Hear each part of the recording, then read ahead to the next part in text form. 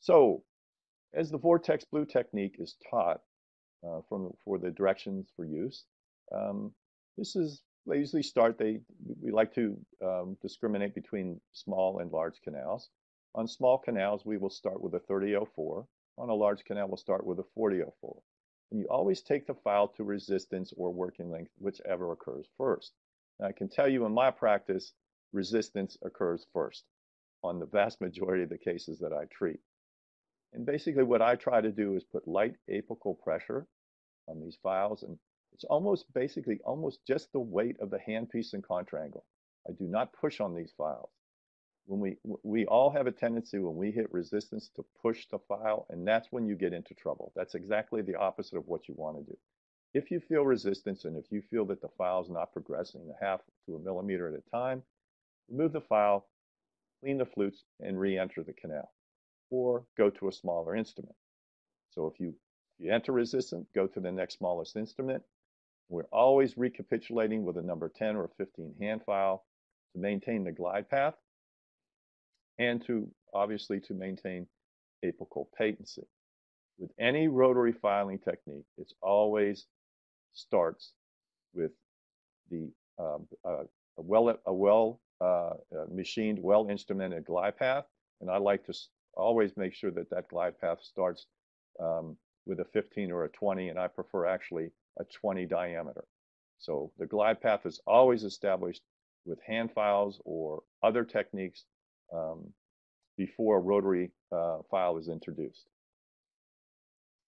This video um, will show the flexibility of the Vortex Blue file, and for demonstration purposes, we're doing this with our gloved hands. Obviously, clinically, we would not do it with a gloved hand, but with a uh, with sterile forceps.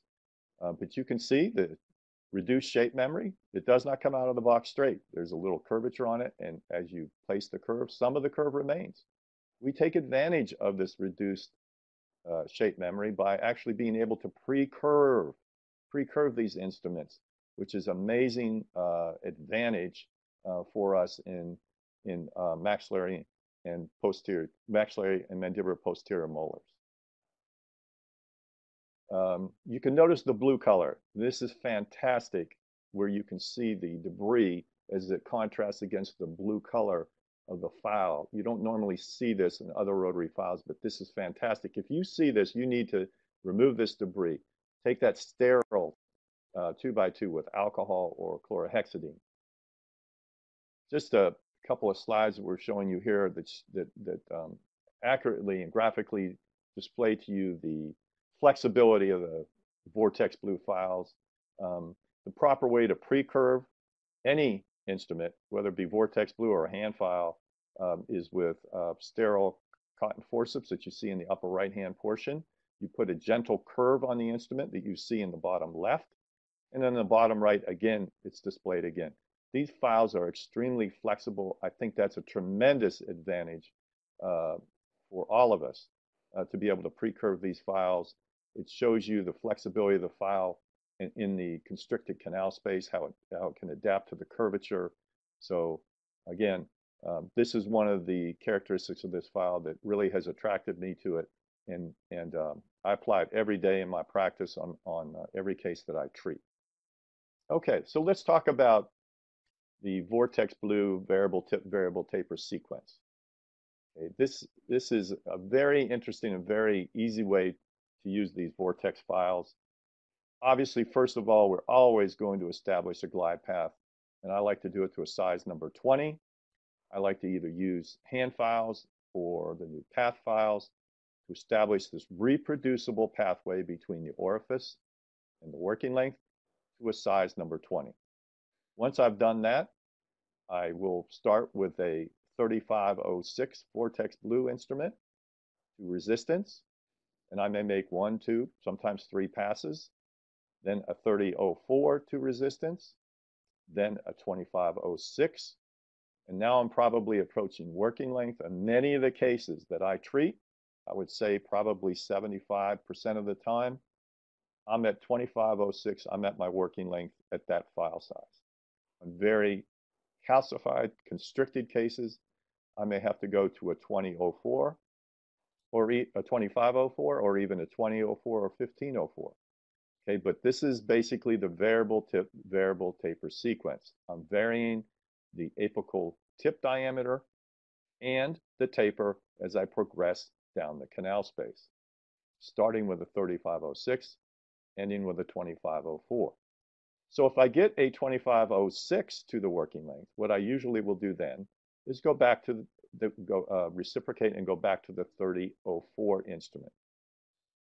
Again, just for my own personal use, just for, for my own, uh, in my own eyes, I like to finish my cases with an 04 taper at the apical one-third level. So again, if I stop at a 2506, if that gets to working length, I will then revert back to the 3004 and maybe even the 3504. Okay, on distal on on single uh, distal roots of lower first molars or palatal roots, a lot of the time I'll be able to get the 3506 to working length. And if that's the case, then I'll sequentially file up with a 4004, a 4504, or 5004 to the proper apical dimension I want to establish. If I feel that 3506 is that dimension, I'll stop. So again, with this variable tip, variable taper sequence, one of the advantages is, is again, I'm using less number of instruments, less number of files, which is what we all would like to see. And we'll go through the uh, variable tip, variable taper sequence, starting with the 3506. We're going to resistance, very light apical pressure. One thing about videos is sometimes we'll, it will um, give you the wrong impression that we're putting pressure on the handpiece just from the aspect of videotaping through the microscope, but actually this is a very light touch. So it's a very light touch. Again, just the weight of the contra angle on the handpiece. Here I am at the 25062 working length. Um, now I'm going to pre-curve uh, the Vortex Blue file. You can see the pre-curve for easier access, just another demonstration. The file's not rotating yet. Now I start it, okay? And now this is the 2504 in the mesial buccal. I may have to sometimes go back and forth between the 2506 and the 2504. Make a second pass in order to achieve my working length. Okay, cases I get extremely challenging, very difficult. The ones that most general dentists don't want to don't want to deal with, and uh, and this is what I this is what I have to do. I have to be patient. Once I reach the 2504 taper, I'm now progress up to the 3004. Okay, so now the mesial canal is instrumented to length with a 3004 Vortex Blue instrument. You can see I make a couple passes to that working length. So once again, be patient with the files. Do not put a lot of pressure on. Very, very slight apical pressure. Recapitulate between the file system, between the, the variable tips and the variable tapers. And I think this will, will really um, give you a successful uh, instrument result if you follow the, uh, the principles of the instrumentation. Take your time. Take your time. Don't be in a hurry. Do not use excessive force. Make sure the flutes of the files are cleaned um, once they are removed from the canal space. Do not instrument the canal space if the flutes are built up um, with debris.